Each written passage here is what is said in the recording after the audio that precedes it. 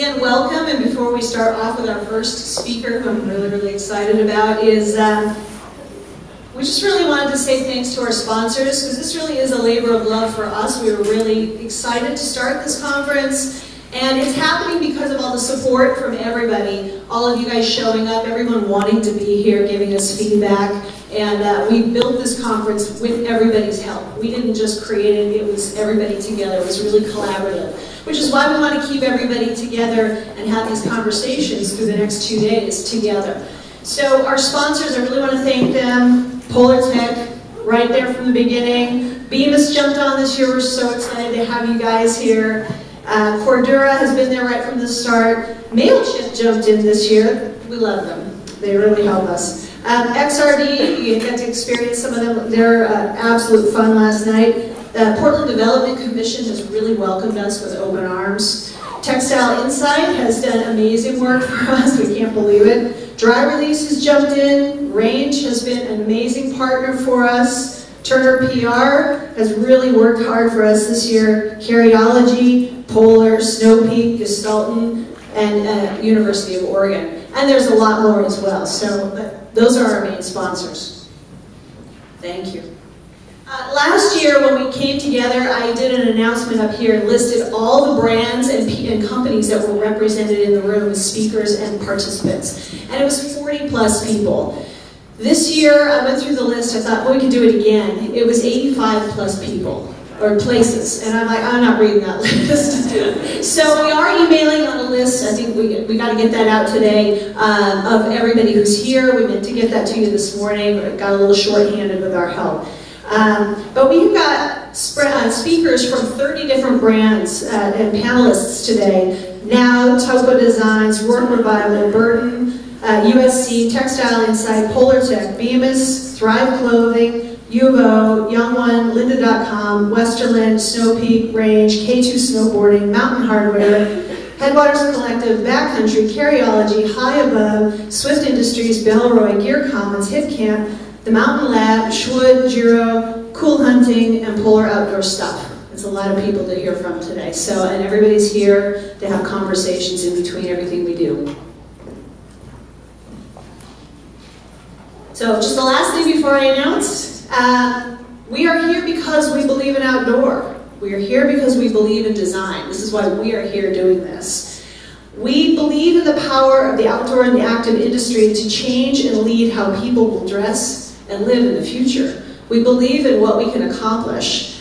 Um, and last year, Mark Galbraith from Nau had come up and did a great presentation that we all remember, which he talked about design equals change. Design equals change. That's why we're focusing on design and focusing on change because that's what's happening in the outdoor industry rapidly right now. Designers are the visionaries and the dreamers. Outdoor designers are the visionaries and the doers. We're about doing. We don't just dream and create beautiful things. We dream, we create beautiful things, and we do and live our lives in them. And the other thing I was thinking is, we all know how to do it. We're outdoor, I was saying, oh yeah, here.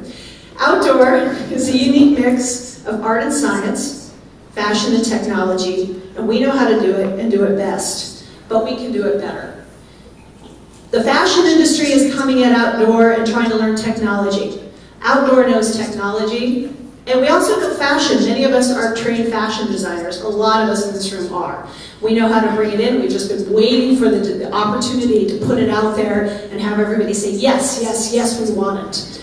It's happening now, and I feel like this East Coast, West Coast coming together with the fashion and the outdoor industry are going to collide, and I want to own it. You know, we want to own it. We want to, we want to drive the technology, the style, how people are dressing, how people are living, what people are carrying things in and doing. So that's why we're here. We want to lift the profession of the outdoor design industry. So we do that together. So with that, we want to bring our first speaker in, Allison Ross creative director from Nau.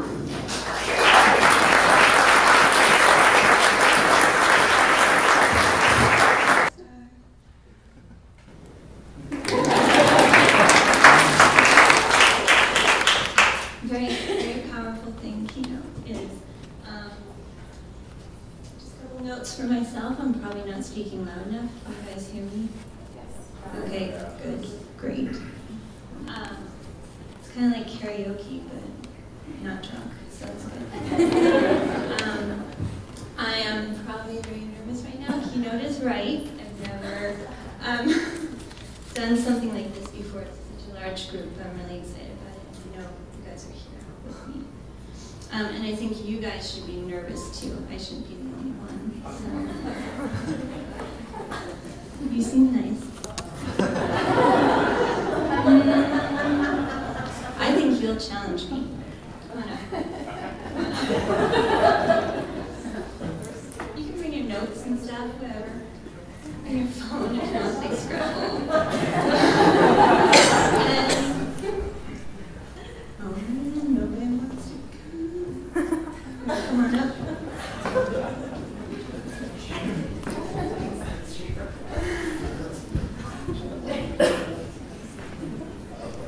Thanks, guys. Have a seat. Now it's all of us up here together. This is great. So what's your name? I'm Christina. Christina. Mary. Mary. Naoki. Naoki. Love it. Great. So, to my new friends, um, well,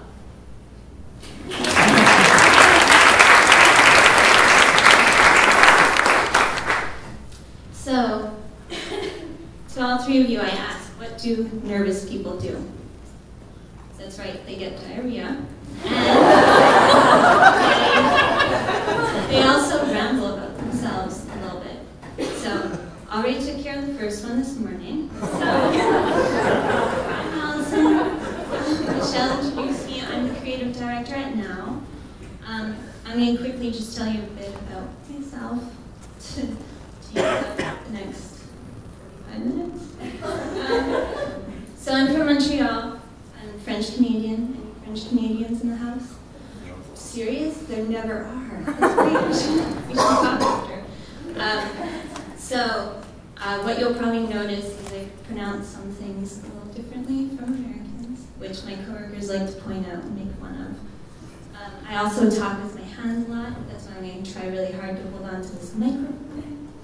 Um, so I grew up in Montreal. I was definitely a, a little joker and a shithead, um, an art girl. Um, from the time that I was really little, my mom was a painter, and my dad was a pianist, so just full of you know art, and that's why I grew up, and they were always really supportive of it. Um, I went to school in Montreal, um, studied design um, in college and university, and when I went to university, I also worked at a pharmaceutical company, which was really funny, doing the design for them. I redid the preparation H packaging, which I still like to include in my portfolio. It's really funny.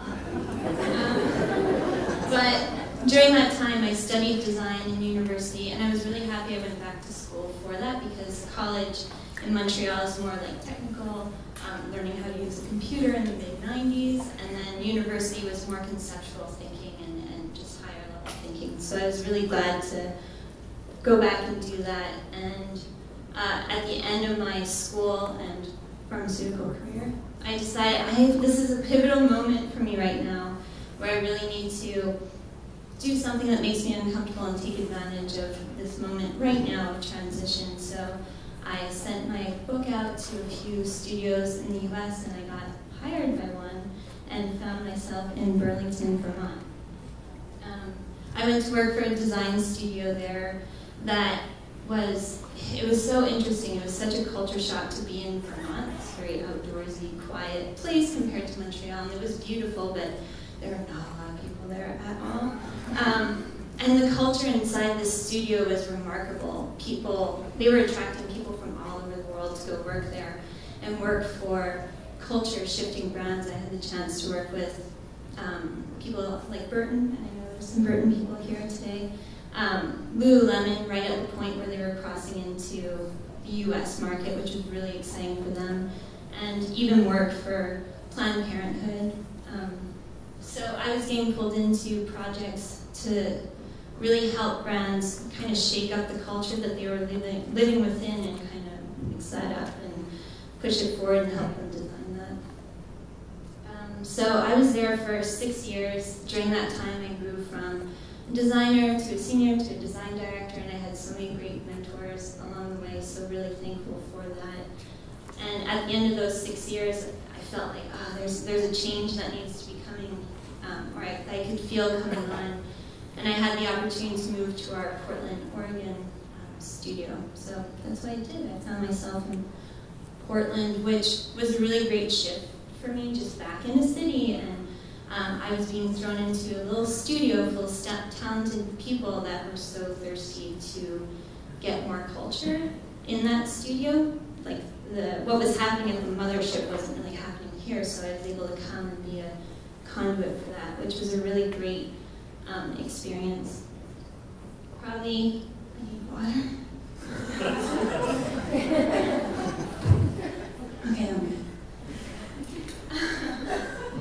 so after about a year and a half um, working in that studio, I felt like, oh, this is gonna be great. I'm in a city, and I'm in a city, and um, that's really what I was looking for. But then I realized, like, oh, I don't know. Like, I've been inside design studio culture for eight years now, or eight and a half years, that I felt like I, I needed to kind of get outside of that a little bit and find new places to find inspiration and just other things that were happening in life too. I was like, I feel like a flush coming on. So I, I kind of cut everything off and, and wiped the slate clean and ran away to Tokyo for um, just under two months to kind of figure stuff out.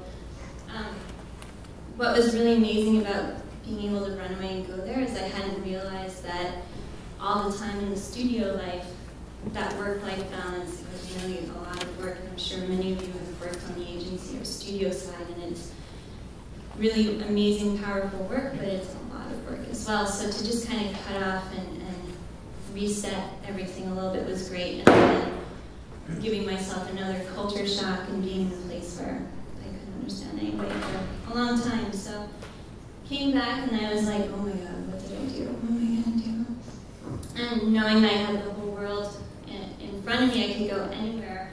This opportunity now kind of came up, and um, I don't know if you guys know uh, a lot about Nau, but they're Portland-based clothing brand, sustainable clothing, outdoor, making it not look like it's from the outdoors. You know, stuff that's good enough to wear in the city as well, and again, just the whole culture that they're trying to shift and change of bringing that awareness to sustainable clothing is really easy for Whole Foods, you know, food in your body, and if it's poison, you're going to die. So eat organic, or, you know, even for cars as well.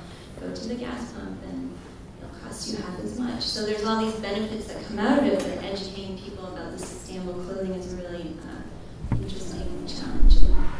Something I was totally down for, so it was, and Um, yeah, but I thought they were cuckoo for hiring me. A little bit. Um, but they were they were all about it, and they were definitely looking for someone to help kind of shape things up. And they already had such a healthy culture in the studio, a little tight team, so it, it was a really cool transition.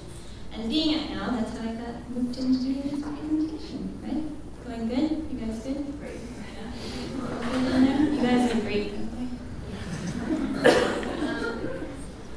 so, meeting by design. Um, I spoke with Michelle and Sam uh, a few weeks ago, and they were like, "Yeah, we were kind of thinking, you know, Mark did such a great job last year, and we're thinking about you know, maybe leading by design. But talk about what you want and um, something that you're passionate about." And, you know, just thinking further about the idea of leading by design, I was like, oh my god, I'm the first person to talk at this event. You guys are um, but also this idea of leading by design, that's almost like a little too far for what's happening right here. I want to think about like what what happens before you can lead. And if you want to lead, you need to have a culture around you or within you, you're in the middle of it to lead going forward. So even the, the culture, this event too, is kind of like all of us together, not any one leader, but we're all taking a break from the leading side and coming to learn so we can go back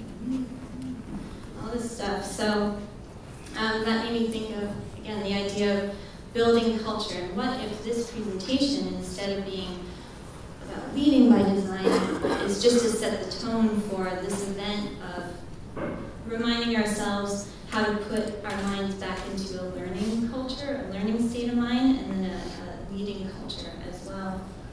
Um, I always like to think this ratio of 100 to 1, 100 times that I'll throw something out there for someone, but not expecting expectation. I'll always get one back. So it's like coming to an event like this or listening to a talk like this. If there's one thing that comes out that changes how you operate, that's awesome. That's. Hopefully there's.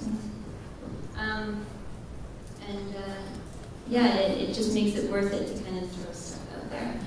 So instead of leading or uh, or the idea of leading is this never-ending learning process, um, and the reason for that is if we're catering to a culture, the culture is always moving and shifting, so you can never stop um, kind of reacting to what the world is happening around you, and then shifting this time to more learning. That I made a new word and it's called Learding by Design. So that's going to be the name of this presentation. And um, To cover.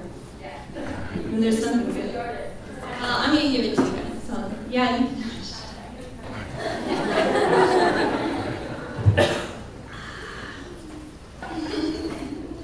All right, well, so learding is the combination of learning and learning, and it's what we're going to do here. And the learning part of it is that creation of culture. So, again, I'm to run through a few things. Maybe they're all things we all already know, but it's always good to get a refresher.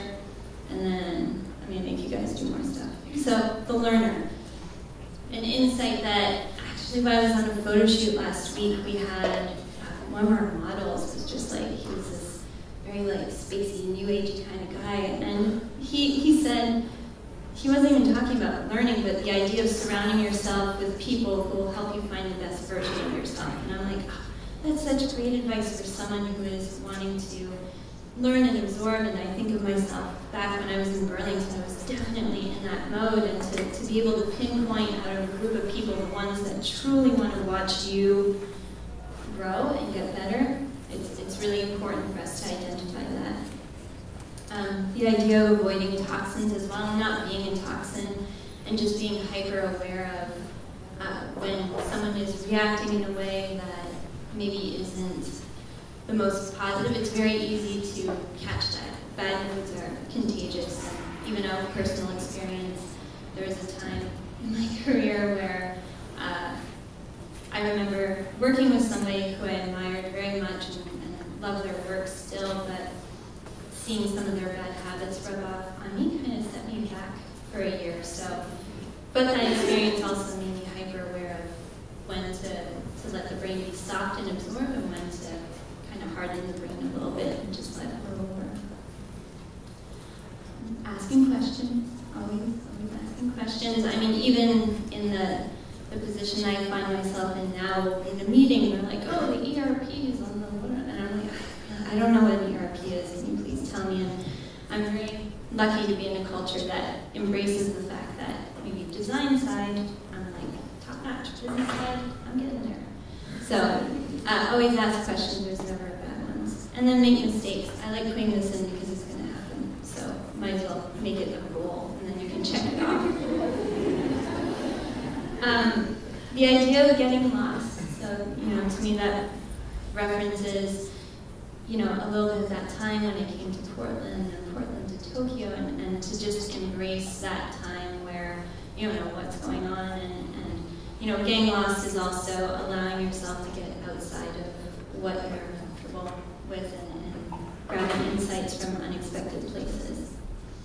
And definitely for the learner to incite and make things happen. And then this is kind of where that learner road and that leader road start to really merge and overlap. These are moments where you get to start learning in a leading kind of way. So just being sure to make things happen and build that culture and be an active part of it. And then to be curious um, as well. Always, always curious. Everybody having fun? Okay, great. Well, I should put an applause slide in here, but I didn't. yeah. So, the learner, those are just a few things uh, in that category. And then for the leader, you know, we, we all know it's really to help people find the best versions of themselves, so the opposite side of, of the learner. And uh, ways that we do that is to make them feel safe, feel safe to make those mistakes. And actually, a coworker of mine uh, a few weeks ago sent me a TED talk. Maybe you guys saw it. I think it came out last May, and I hope I don't kill the storyline of it. But it was basically talking about how um, army troops and the, the leader of the army troop, his job is to really shift the culture within his group so that everybody wants to take care of everybody else and the, and the you know, to the outsiders, it's like, oh my God, how did you run into that fire and go save that person? And all of their reactions are always, well, they would have done it for me. So to be able to build that kind of culture within your team or within a design talk event um, uh, is good. Being honest uh, and being straightforward with the people that you work with, and even for brands as well, to be leading to kind of put out there when you got shit dialed when you don't have shit and it's okay, and um, working together to kind of get through that, and then make mistakes. We all do it. I'm doing it right now. that idea of instigating, so uh, this specifically with the team that I work with, I really love the idea of let's think up some crazy stuff and, and don't worry, I mean, I'm going to make this work for us. And I'm just walking around cutting handcuffs off, which is so much fun and to watch people kind of run with ideas that are not traditional is um, definitely the best part of, of my job. So being that instigator. Uh, and then empower them to, I don't want to do all the work, right? Now. So empower them to kind of take it and run with it, and then they come back with work that's so much better than I would have done because they're the best. And then invest. Um, this is something, you know, with people in uh, leadership positions, it's really interesting when they maybe get overwhelmed with oh, workload and numbers and all this kind of stuff, but it's so important to invest that time into the people around you. And again, even within an environment like this, we're, we're here for the next two days, so why not take the time to actually like listen to people and talk and connect, and they'll come back, come back at you. We're doing time. So the learner, right? It's a combination. Yeah.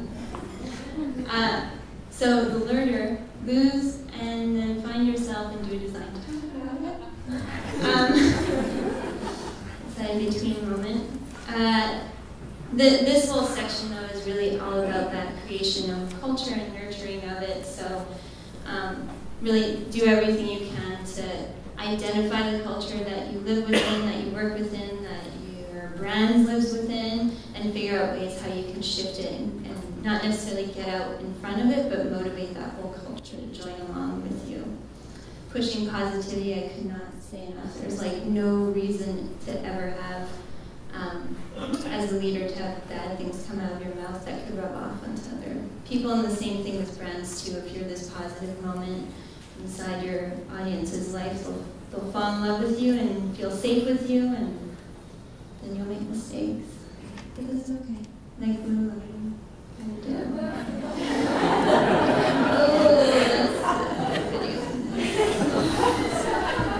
I really, they're the best. I know. I really have to say they're pretty amazing. They have an amazing brand culture internally and. Make fun happen. Make jokes, right? All that kind of Um, so that too, even for the learners to have, try and have empathy for those leaders for the pressure that's that, that they're kind of going through and appreciation for the time they give and then having empathy for the learners as well because it's a really scary place to be in because um, you, you fall on your face a lot more than, than other people, but it's all good. And then the idea back to that 100 to 1 ratio of that giving without expectation. Um, again, because it just always comes back in return and to, to lead a culture where everybody is always giving. I think about the, the team at Nau the culture that we're building at, right now is one that I think very soon everybody's going to be giving without expectation. And now there's 25 people who are living in Bren, not just four or five. Um, and just the amount of stuff that you can learn from every person that you work with. And then you have to have partners in crime, like my friends right here. you guys are great. Doing really good. What did I write in notes here? I'm gonna make you guys do an exercise. Sorry. Not a physical exercise, don't worry. Um, but what I would love for you guys to do is kind of, you know, lean and cluster in, in groups of three. And I would love for you guys to chit chat for like five minutes. Yeah, you get it? Reading, learning, learning. And I got the three of you. Um, want you guys to go into groups of three and take five minutes to just discuss a little bit about like what's that one insight that someone told you that, that you can remember off the top of your head that really shifted how um, how you, you operate or how you work and doesn't have to be design, it can totally be like uh, I won't say that loud. Um, it can really be it can really be anything, something that just kind of guided the way that you go about life and discuss it amongst the three of you and pick the one that you're like, whoa, that's crazy or better than the other two. and then we'll check in. Five, five minutes. Green drink water.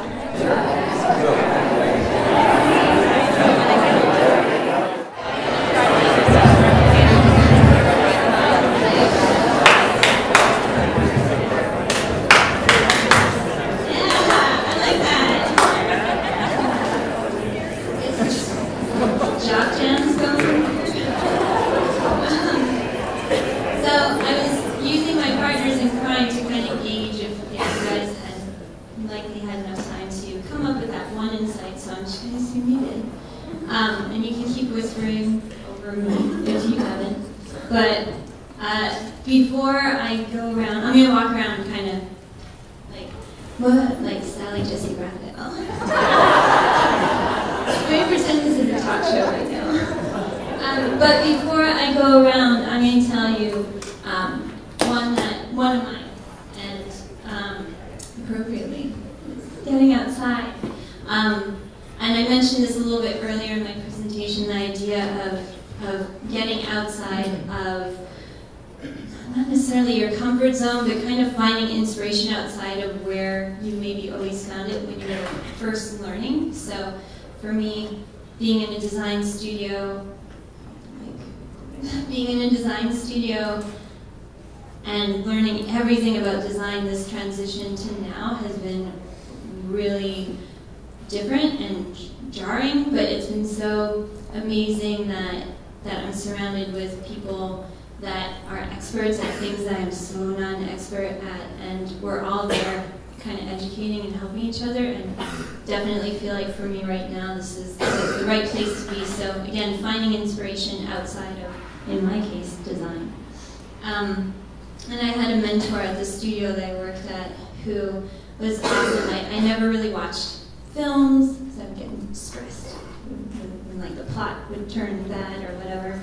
And I, I generally read like design books, like theory books. I was all about that. And one day he gave me a book that had nothing to do with design by Charles Bukowski. I have it right here. Hot Water Music. Yeah. And so what was interesting about this book was he gave it to me and it was sitting on my shelf for probably a week or two before I started um, diving into it, and I was like, I want to learn more about this Charles Bukowski guy. So I can't remember the name of the documentary, but there was a documentary put out about him, and the first 95% of the documentary, I was like, I fucking hate this guy. Like, he's an asshole, he's like alcoholic, and he's mean to women, and terrible. And then the last 5% of that documentary, he like kind of realizes, oh, he like falls in love with a woman and kind of changes for her and and just really repairs his life he dies. Not to give away. um, but I, I thought it was so incredible that I I you know spent an and 34 minutes, like despising this man, and in the last six minutes, like totally fell in love with him, and I was like, holy crap. So I, I obviously, you know, grabbed my, my book and started reading it, and again, has nothing to do with design. It's really dirty in a good way. um, and just thinking about that man what state of life he was in while he was writing this, and for the work to be, I find mind blowing. That I really do recommend everybody um, reads this book. So um, Amazon kind of fucked up a little bit. I was hoping to have 150 copies of this book, but that didn't happen. But since you're all broken up into groups of three, each group is going to be able to get a book. And then you have to write your email, uh, not email, mailing addresses in it. And one of you read it and mail it to the next person, then mail it to the next person. And then please make sure you give it to, to somebody else after that. And again, the idea of giving without expectation. So. Um, I'm going to have my partners in crime tell me their insight, and then we're going to quickly go around and, and try and get all of your insights. I got 15 minutes, so uh, let's do it. Let's start with you guys.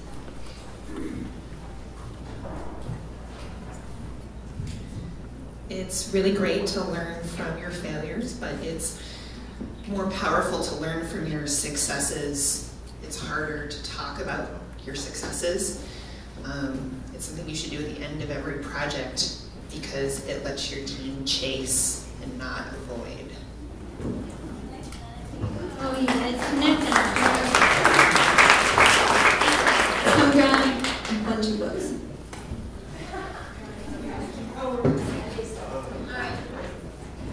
Do you guys have? Oh, Bree, you had a good one. Ours is uh, just be kind to people. It goes a long way. How about you guys? I can do it. I had to do this for like half an hour.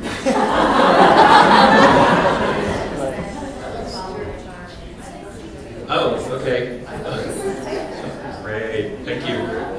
Yeah, so um, I was talking about writing and uh, the judgment and the voices in your head that prevent you from writing anything, spending days paralyzed. And I hold on to Anne Lamott's advice, which is that your only responsibility is to write a shitty first draft.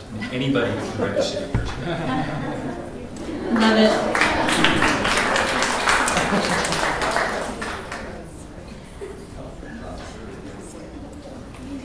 Uh, Okay, um, when you work with groups of people and new people come in, um, it's a good policy to give everybody a normal reputation that they'd love to, or put a 10 on their heads, because they will rise to it every time. It's certainly critical.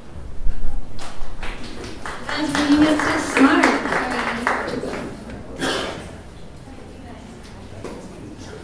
So we talked about um, bringing people together from different uh, backgrounds in the creative space to really gain different perspectives and fostering that ability that it's okay to make mistakes and uh, we shouldn't be chided for bad ideas, but you know having that um, good culture to be able to bring different solutions to the table.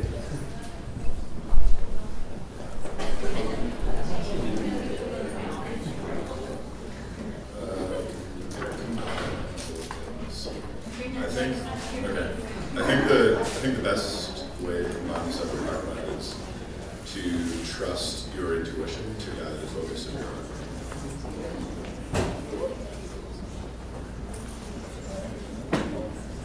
So we all came to an agreement that um, in order to be really successful and accomplish the things that you want, the first thing that you need to do is take care of yourself.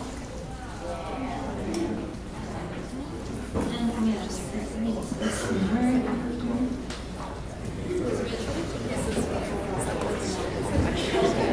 Um, so I think we, the most important things that we talked about were um, empathy and making sure that everybody on your team is heard. Um, that the director might come from above, but that if everybody that's participating has a voice, um, they'll more.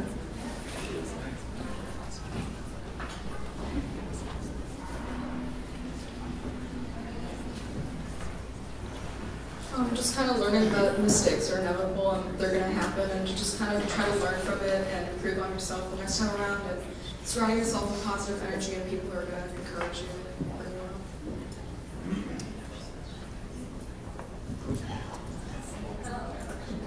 Um, ours is fear.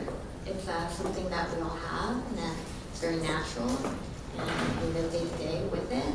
But um, I think what's really important in goes in life and in business is to not ultimately make your decisions based off of fear, and to trust your That reminds me of that Jim Carrey commencement speech, which I don't know if you guys, a lot of you have seen it, but I really recommend watching it because it's all about making choices not off of fear but of And um, going off of fear, to, to not be afraid to have a breakdown because without a breakdown, you can't have a breakthrough.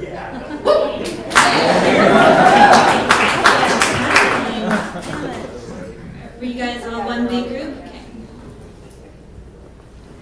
I had a good one, and then I heard a foreign language one, and I thought that was much better, so I handed over the mic. Uh, it's a it's a quote from uh, uh, Surrealist. uh, it's a l'intraitable manie qui consiste à ramener l'inconnu au connu, uh, au classable, berce les cerveaux.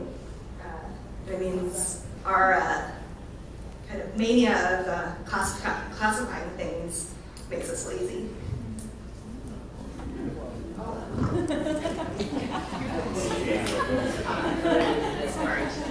So in a design realm, we, we talked a little bit about how there gets to be this competition between people. And so instead of having be such a negative atmosphere, we talked about how it pushes you to be your best. And in doing your best, then everybody else wants to keep on rising to then to do their best and keep on stacking upon each other. And before you know it, the whole team is elevated. So we, we did collaborate here, and one of the things is just to really listen to each other and learn from all avenues, and that today's success may not be tomorrow's success, and then all harebrained ideas may lead you to the impossible.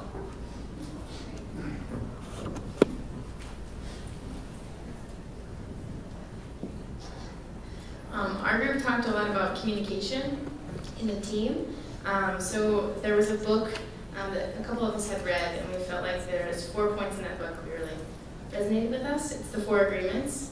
So it's always do your best, be impeccable with your word, don't take things personally, don't make assumptions.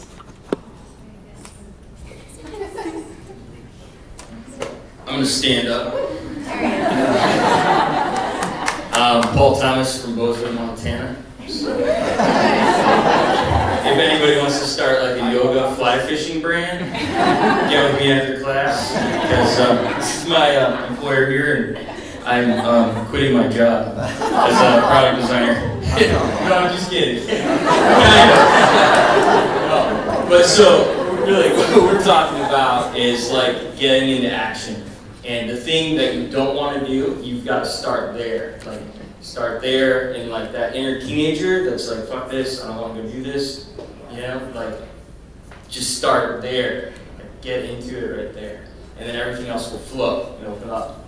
So, yeah, that's, that's what we're up to. Sweet, thanks.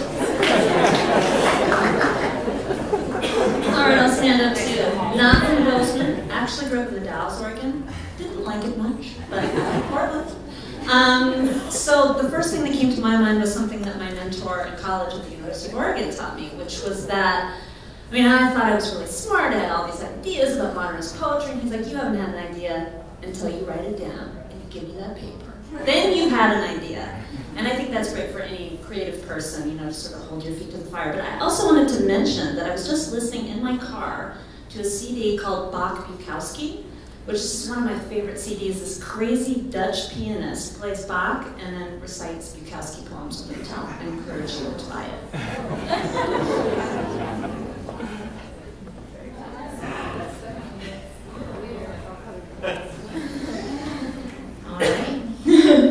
Um, the importance of probing our curiosity came up as uh, first and foremost. Um, to be able to create without a filter. Um, and mine was to get comfortable with discomfort. and we spoke a lot about um, how our work environments facilitate all of those three things.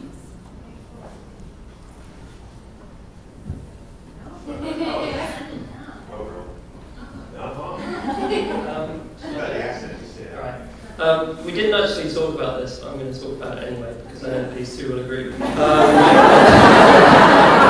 so, yeah, there's, there's team. There's team. Um, so last year there was a guy here speaking called William Lidwell um, for the benefits of the benefit weren't here. Talk about the 10 heuristics of design.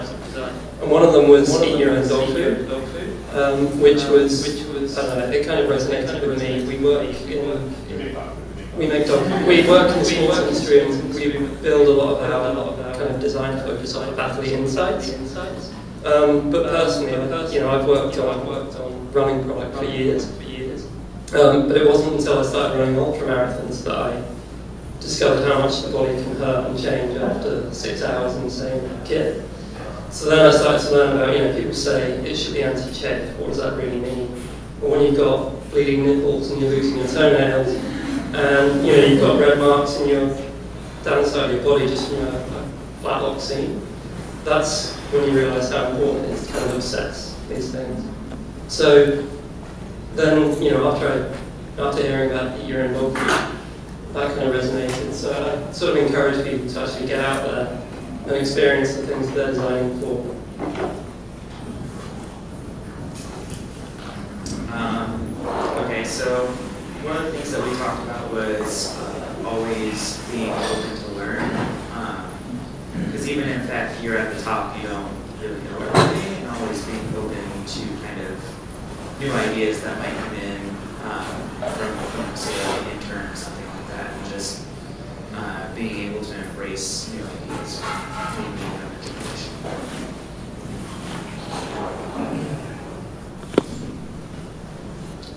Uh, our group talks bit about how in such a competitive world, um, it's easy to do the easy thing.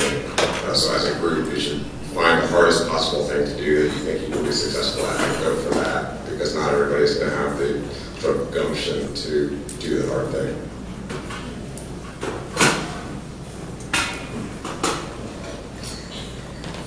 Hi. Uh, we decided to go with never make assumptions. It's really simple, but it's important when you are first learning to take yourself out of it and just ask questions. So, the one thing that we talked about, or I talked about, as listen, is in a group, in a collaborative group, um, especially if you're leading, if you have people that do different things, everyone has an important opinion you shouldn't discount someone just because they're not an expert at something. You can get unexpected inspiration anywhere and at any time.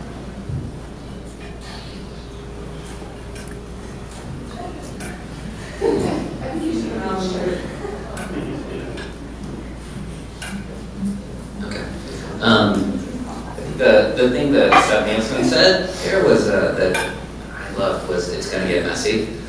Um, he suggested a t-shirt. I think that's a great idea. But I, I love that it, it gives permission uh, for the team, but it, it's also a challenge as well. And yeah, getting things messy, and you gotta keep pushing.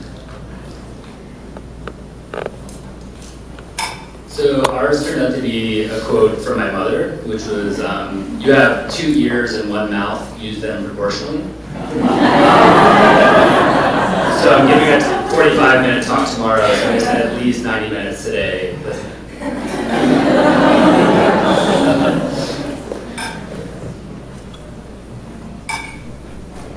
Hi. Uh, we talk about um, not, talking, not taking yourself too seriously because we're working in the outdoor industry. So it's important to keep perspective at the end of the day, you're stuff, you're not saving lives. And the other one is uh, trying to be more focused. There's so much distraction going on around us that it's really easy to lose sight. It can be creative, but again, again, it's laser focus. Uh, hi everybody, I'm Rob. Uh, I'd like to first say that everybody in my group had a great idea of their own. Uh, the one we're going with is that whenever we're talking with other people about a product or a service or an idea, the goal is always to try and project confidence to convince them that, that we're right and that they should buy into it. But actually, when we project that confidence, we actually increase our own confidence. So how you present yourself not only affects other people, it really does affect you. And the that we project happy, confident, powerful people, the more we will be that person. Great. Um, we all had great ideas as well. Um, but the one we're going with is um, so at kind of the fuzzy front end, or if you have an idea for a product or a solution you're solving, um, it it can be perceived as that there's this magic in getting um, you know that idea into actually uh, into actually a, a, real final thing, and uh, to just trust in collaboration and um, your team to actually actually make that idea real.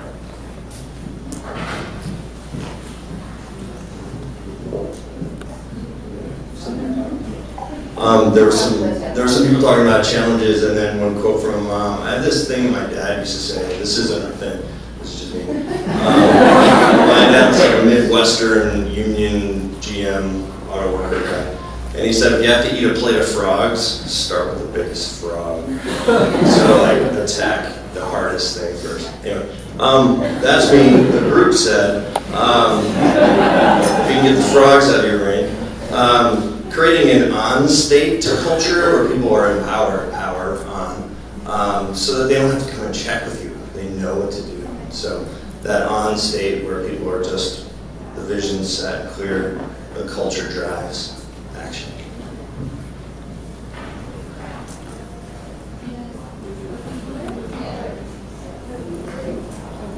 Um, I think we talked a little bit about dynamics and teams, and that there's takers, some givers and the importance of just being a giver, and your team just will be so much stronger for it. Um, uh, yeah, we came up with a catchy British phrase of rubbish in, rubbish out. So meaning that if you want a good result, you've got to put a good amount of effort in at the start. You rarely get a free ride.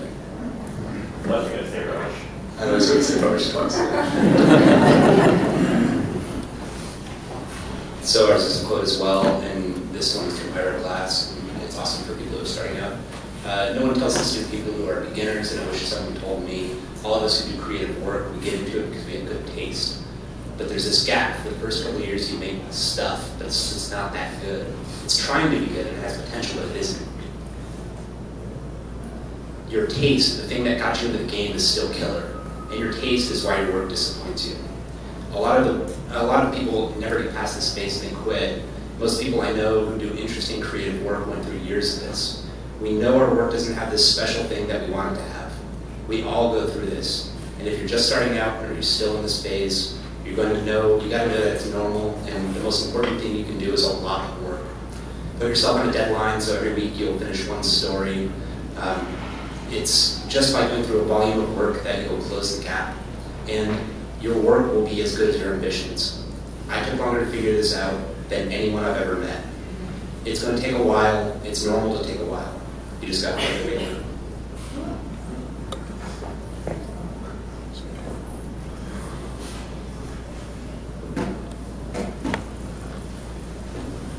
So we talked about a lot of pretty great ideas, and one of the ones that uh, we settled on was just really acknowledging being appreciative of the industry that we're in. Uh, having left it for a year or so, uh, I can really say that it's very special, and we're lucky to work on the product that we do with the people that we do, and in such a collaborative and interesting environment.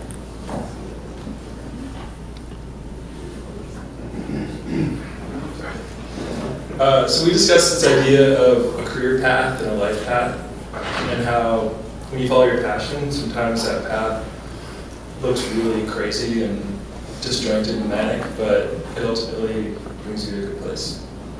So to embrace the unexpected. So we had four distinct ideas, but so my Pluto and mine. Um, simple, um, just be proud. Um, that goes back to something my dad said when I was maybe 10 years old. Uh, if you're not happy with your work, how do you expect me to be?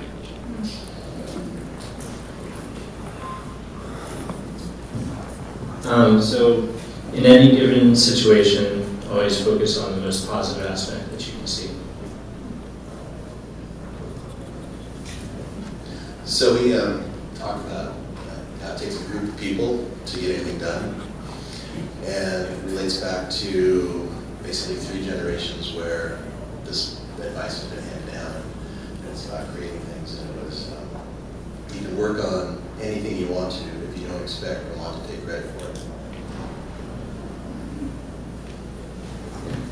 Um, one of the topics we discussed was more rooted in perspective, and there is a song lyric that I'm sort of going to quote. Um, it is by an artist India.Arie. It's a song called Better People, and it's something that came to mind. And just if young people would talk to old people, we'd be a better people all around, and vice versa. So it's just conversations with.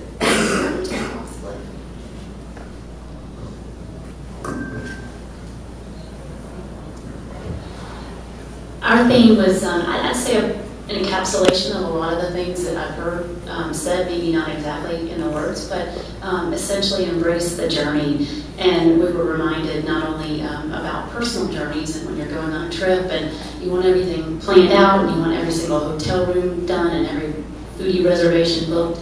A lot of times the, the fun is in the people that you meet along the way and the things that, that really motivate you. and It is the unexpected. So it's embracing that fear and, um, and what we heard about, you know, getting comfortable with discomfort. And we sort of um, put that into a work scenario when people are always looking for what's the answer, what's the algorithm, what's the template, what can I fill in, and, and it's not I mean, that ultimately sometimes does drive the financials, but we need as leaders and as learners to encourage and embrace the journey and, um, and let everyone know that it's really it's, it's who you are working with and the things that you're learning and you're going to take them in your personal life and in your professional life and it's not always about the answer. So that's ours. Hi. Um, our theme kind of centered around the power of critiques or criticism. Um, this is something our company's really embraced over the past year or so.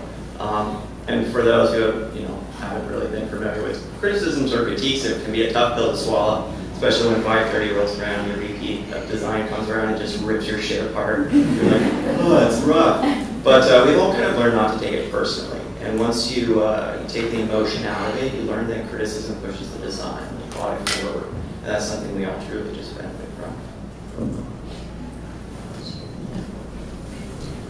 We're at the back of the room. Yeah. Um, so I'm sitting next to the following two speakers, so they nominated me talk uh, from our group. Um, and ours is pretty simple. It's make it a game.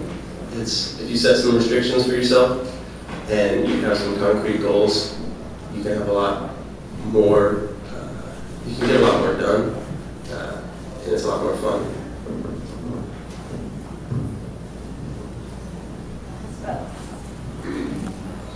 Okay, so we had a pretty practical one. Um, that we kind of talked about creating space for yourself to be creative, and that's not only just like space within your environment, but also getting away from all the meetings and all the numbers and all the stuff, and trying to really um, be creative. But then she actually made me think of uh, a moment that I had on the plane ride out here. I was reading Blood Meridian, and the quote was, "There's no such joy in the tavern as upon the road there too." which totally made me think of that. You got to enjoy the ride because sometimes the destination is a little bit of a letdown. Right.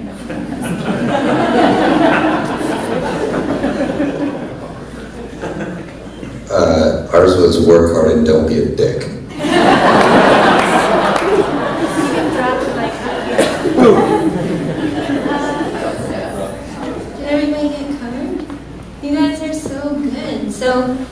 Um, back to that ratio of 100 to 1, there, has got to be at least one thing from today that'll be worth remembering. So um, I hope you all got a book, or, okay, if you didn't get a book and you your group didn't get one, we have a couple extras.